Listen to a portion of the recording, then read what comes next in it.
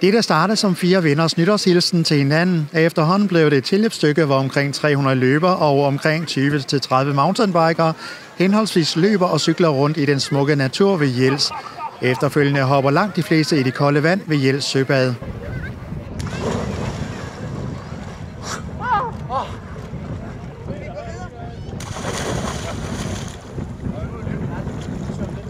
Det kan vist godt kaldes for det kolde gys at tage en dukkert i Jelsø på den årstid, og så var temperaturen endda på 7 frostfrie plusgrader. Ja, det svarer cirka til kulden i et køleskab. Der var rigtig mange med i arrangementet, der efter en motionstur hoppede i vandet, og det var helt uden at tøve. En af dem var Henrik, som jeg traf efter hans korte bad i søen. Hvordan var det? Øh, koldt. Men jeg overrasker over, når man kommer op igen, så bliver det varmt igen. Altså, så begynder kroppen virkelig at arbejde. Uh. Er det første gang, du prøver det? Det er første gang, jeg prøver det, ja. Det var sjovt. Det skal være, og det skal også prøve igen næste år, det er helt sikkert. Uh.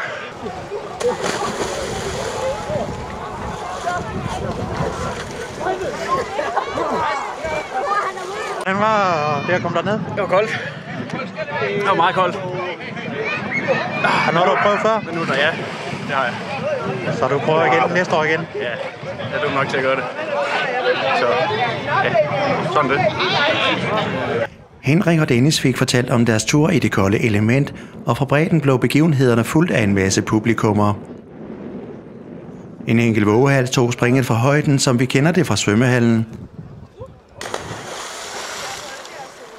To kvinder fik et let kuldechok, da de landede i Jelsø.